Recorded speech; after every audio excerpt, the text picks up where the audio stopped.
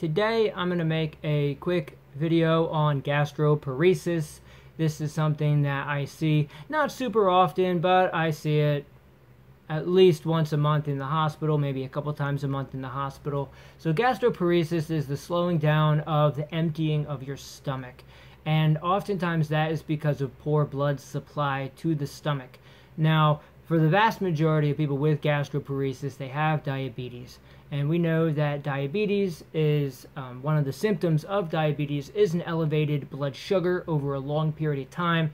And that elevated blood sugar destroys the small blood um, capillaries in your eyeballs, causing blindness, in your kidneys, causing kidney failure, in your piggy toes, causing peripheral vascular disease. And another area that gets hit with um, this long-term hyperglycemia, elevated blood sugars is your stomach. So there's decreased blood supply to your stomach, which slows down the emptying. So um, people will present to the hospital with um, on long-term nausea, vomiting, poor tolerance to food. Maybe they're feeling full quickly. They've had unexplained weight loss, um, and oftentimes uh, they'll have just a lot of undigested stuff sitting in their stomach. Um, and when they put in uh, a tube to suction that out, they find a lot of really undigested food.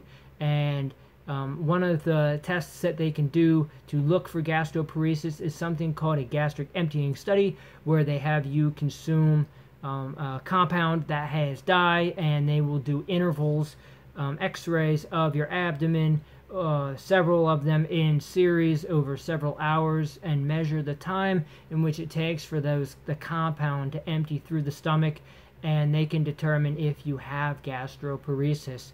So for someone that has gastroparesis, there's a few tips that I can recommend for you.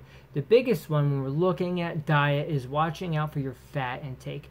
Uh, high levels of fat actually slow down the gastric emptying. They cause the um, the pylorus, the pyloric sphincter, the area between the stomach and the duodenum, the first part of the small intestine, um, to actually close up and decrease its rate of emptying. So higher fat foods typically are anything that's greasy or covered in oil, so like fried foods, french fries, deep fried stuff, as well as oils, so things with added oil, cooking oil, or salad dressings. The other area of fat is dairy, so high fat dairy products, including cheese, whole milk or 2% milk, um, higher fat yogurts, that sort of stuff. And the third is high fat cuts of meat, things like red meat, um, steak, pork chops, ribs, deli meat, hot dogs. These foods are high in fat and they're going to sit in your stomach longer and be very uncomfortable for you. So, following a diet that's lower in fat, all your fruits and your vegetables have almost no fat in them. There's a little bit of fat in things like coconuts and avocados, which you could try in small quantities as tolerated or omit them. There's not really a lot of fruits and vegetables that are high in fat, so you're not really missing out on a lot. All of your um, your grains are going to be uh, lower in fat, so things like rice and pasta and tortillas and bread, there's not much fat in these foods. But of course, if you look at things like pastries and donuts and fried fried baked goods, they'll have more fat in them than just your your plain old grains. Uh, dairy uh, you could do like non-fat milk or non-fat yogurt um, or very very little bit of like parmesan or swiss cheese tends to be lower in fat. When you're looking at meat you could do things like um, turkey or white fish or chicken breast without the skin. Uh, so there's um, there's a few options there. So we've talked about fruits we've talked about vegetables we talked about grains we talked about dairy we talked about meat um, that's pretty much it in terms of the fat content.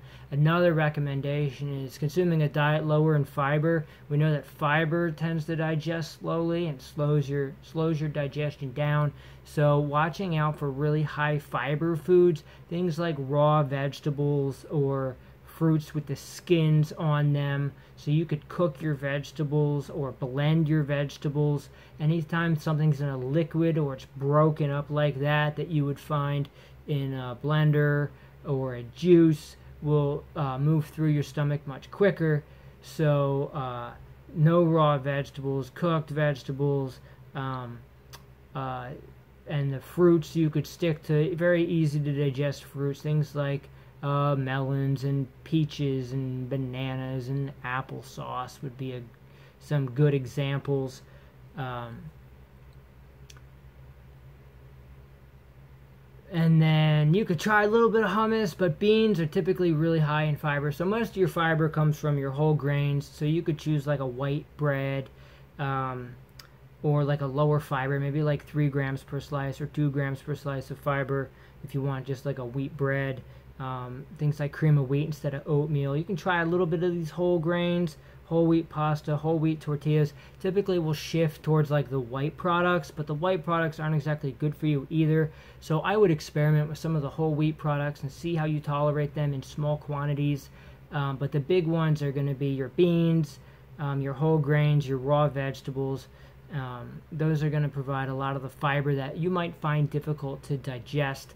The other option uh, for people, or tip for people with gastroparesis, is to have small, frequent meals. So maybe six meals spread throughout the day, every few hours.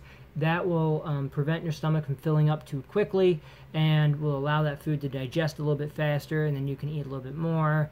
Um, and so that's always an option too. So I hope you found this video helpful. If you have any other questions, uh, you can post and leave them down below, or and you can check out my website, SeanTheRD.com. There's a contact me section and some extra uh, nutrition-related videos. Thanks for watching. Cheers.